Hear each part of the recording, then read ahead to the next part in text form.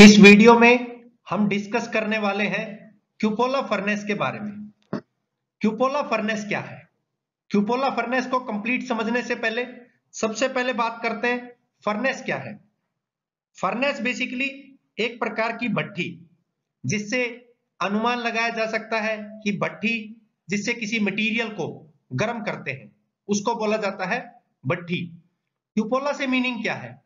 Cupola से meaning है एक गुंबज के आकार का। जैसे पुराने टाइम में घरों के ऊपर जो रसोई घर होते थे, उनके ऊपर चिमनियाँ बनाई जाती थी तो कुछ उसी प्रकार का। कंप्लीट है क्यूपोला फर्नेस। अब मेनली किस पर्पज से इसका यूज़ होता है? मेनली फेरस मटेरियल्स को, उनके अलॉयज को मेल्ट करने के लिए क्यूपोला फर्नेस का यूज़ किया जाता है। इसके अलावा इसका जो मेन एम होता है, मेन जो फ़ंक्शन होता है क्यूपोला फर्नेस का वो पिग आयरन को कास्ट आयरन में कन्वर्ट करने का होता है। ये लगभग इनकी जो ऊंचाई होती है, वो 6 मीटर से लेकर के 11 मीटर तक की होती है। मेनली ये डायामीटर के तीन गुना ऊंचाई होती है। जैसे डायामीटर 1.5 से लेकर 13 फीट तक का इनका डाया होता है। तो उसके लगभग तीन गुना इनकी ऊंचाई होती है। ये मेनली सर्कुलर इन सेक्शन होते हैं। मींस गोल सेक्शन के होते हैं सिलेंड्रिकल शेप के होते हैं। इसके अंदर जो आउटर सेक्शन है, बात करते हैं इसके मेन कंपोनेंट्स की। सबसे पहले इसके मेन कंपोनेंट्स को समझेंगे कौन कौन से कंपोनेंट हैं कौन कौन से इसमें जोन होते हैं। उसके बाद इसके वर्किंग प्रोसेस की जो स्टेजेस हैं, उनके बारे में समझेंगे।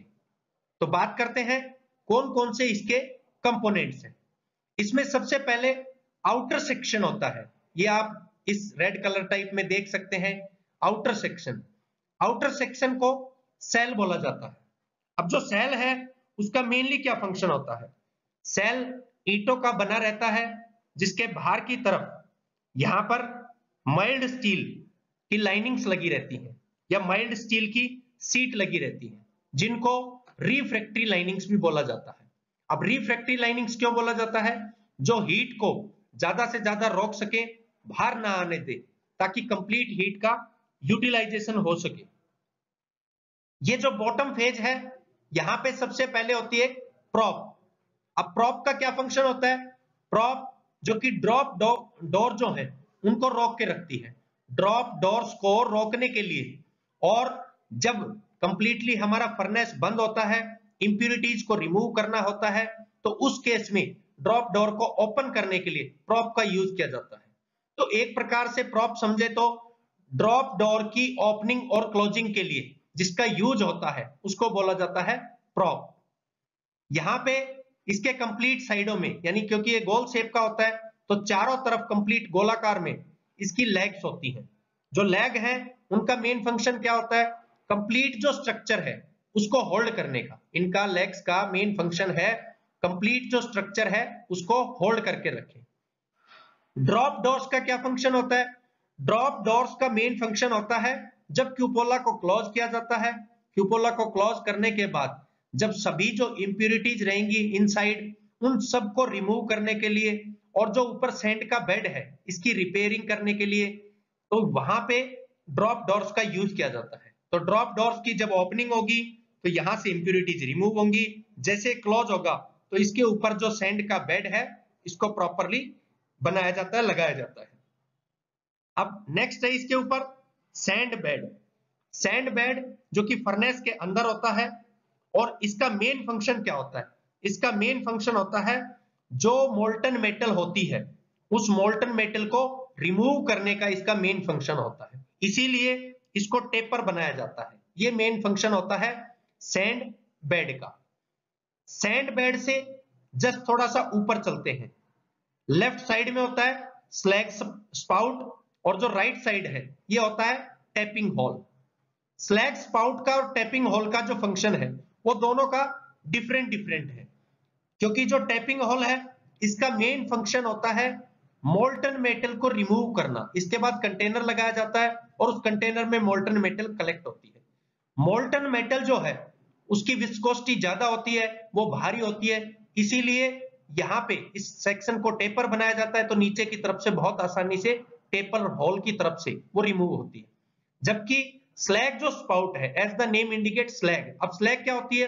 वो इंप्यूरिटीज जब हमारी जो मेन मेटल है, वो चूने के संपर्क में आती है, कोक के संपर्क में आती है, उसके बाद जो इंप्यूरिटी बचती है, वो रिमूव करने के लिए स्लैग स्पाउट बनाया गया है। इनका जो जोन होता है, वो होता है वेल जोन अब वेल जोन मींस कुएँ जैसे आकार का। कुआ, जो कि बिल्कुल गहरा, सबसे नीचे का सेक्शन क्योंकि ये लगभग जो इसकी ऊंचाई है, वो मैंने आपको बताया था 6 से 11 मीटर होती है। तो यहाँ पे इसका जो सबसे बॉटम सेक्शन है, वो इसका कुआ है वेल है। तो इस कुएँ में मोल्टन मेटल आकर के कलेक्ट होती है, जब वो मेल्ट हो जाती है। इसके बाद चलते हैं नेक्स्ट सेक्शन पे।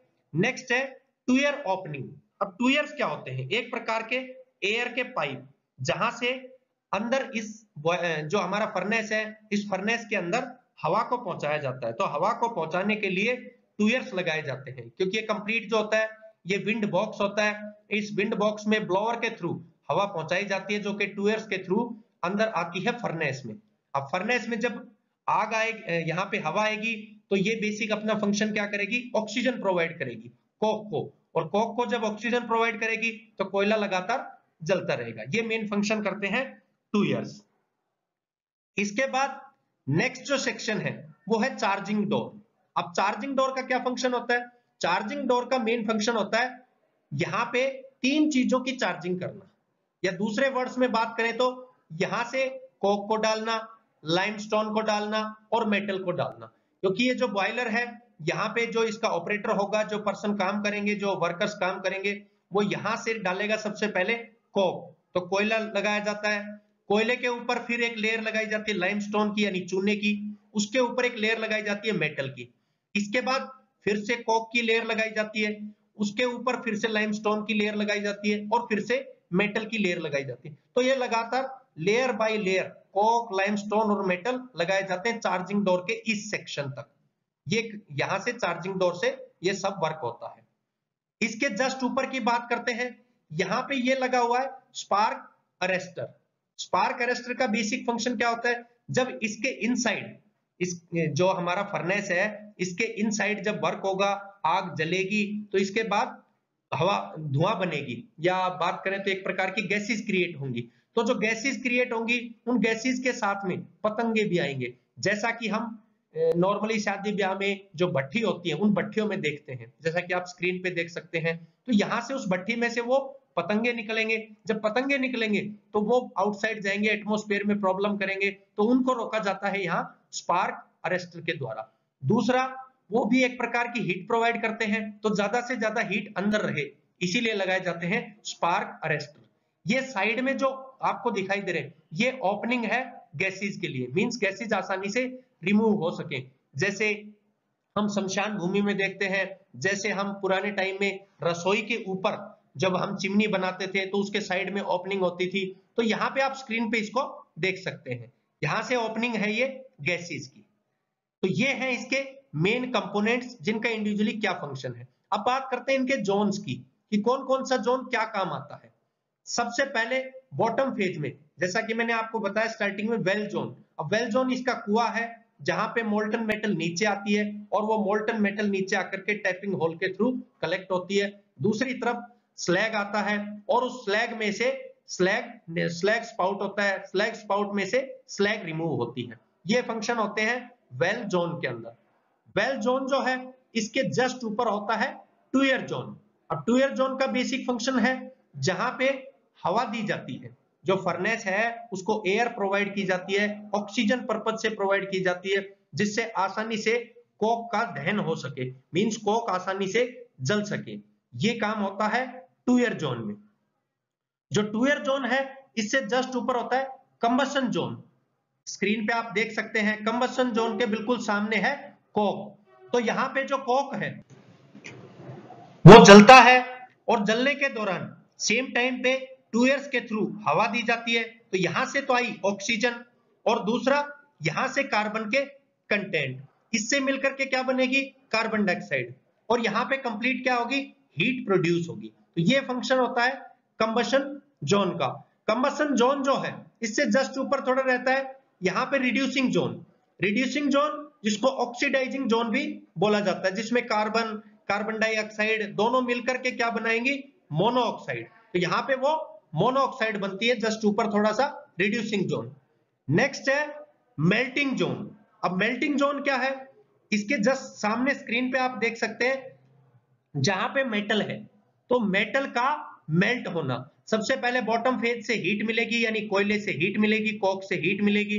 वो हीट जाएगी, फिर लाइमस्टोन को, और उसके बाद जाएगी मेटल पे। तो मेटल यहाँ पे मेल्ट होगी। तो इसीलिए इसका नाम होता है मेल्टिंग जोन तो मेल्टिंग जोन वो जोन जिसमें हमने जो पिग आयरन डाला है, उस पिग आयरन को मेल्ट करने के जो जोन है, वो होता है मेल्टिंग जोन नेक्स्ट जोन है प्री हीटिंग जोन जैसा कि इसका नेम है किसी चीज़ को पहले से ही हीट करने वाला जोन तो यहाँ से जब लेयर बाय लेयर कोक होगा लाइमस्टोन होगा मेटल होगा तो इस पे जो मेटल होगी ऊपर की तरफ़, उसको पहले से ही हीट मिलेगी जब वो कंबशन जोन में आएगी।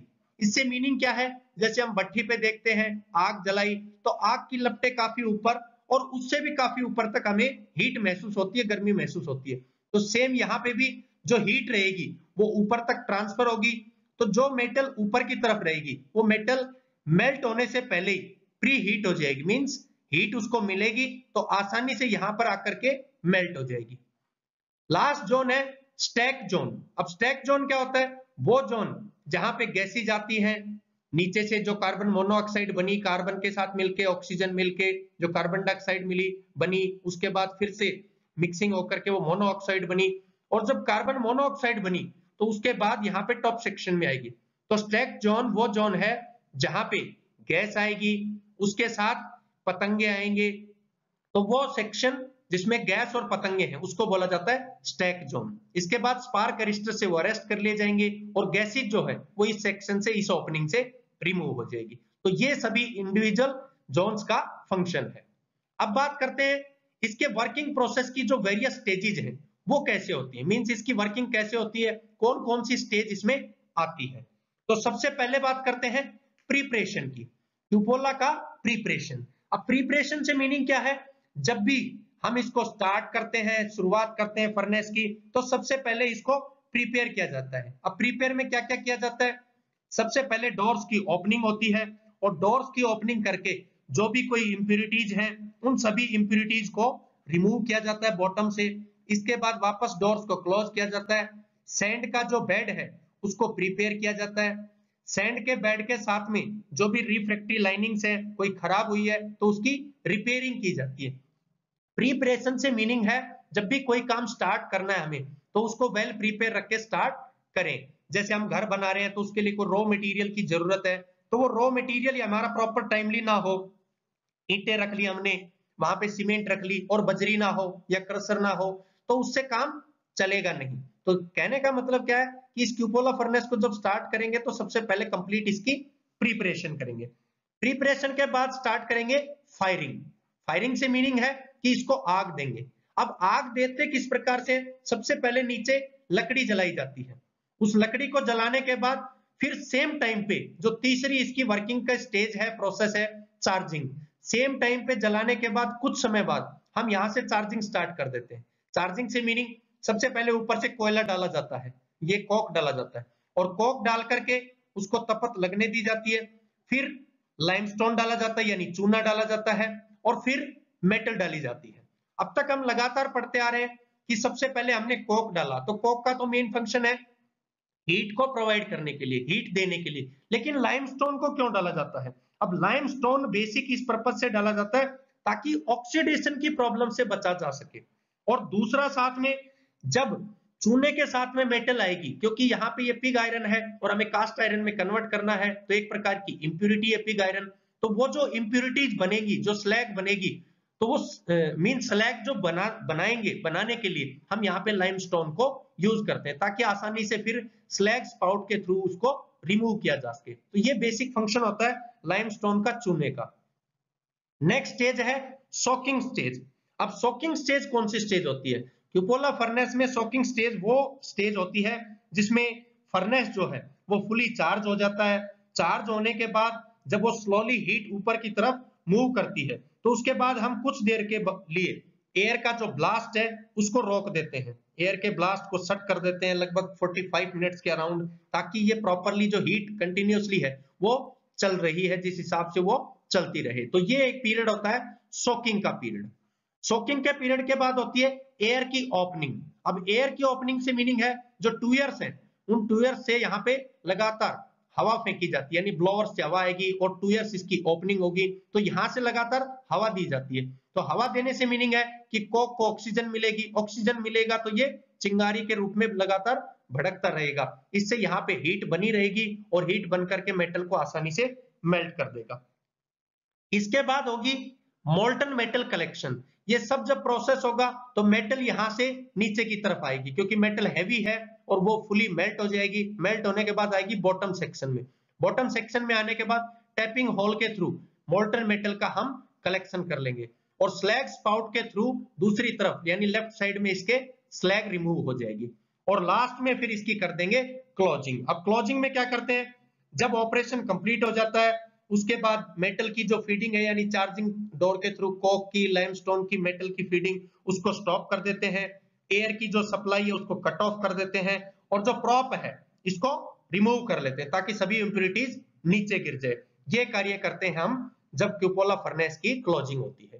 तो ये थे क्यूपोला फर्नेस बेसिकली क्या है? क्यूपोला फर्नेस के जो जो कंपोनेंट्स है, उनका इंडिविजुअल का क्या फ़ंक्शन है? कौन कौन से इसमें जोन है? साथ ही में इसकी वर्किंग स्टेजेस कौन कौन सी है? थैंक यू दोस्तों।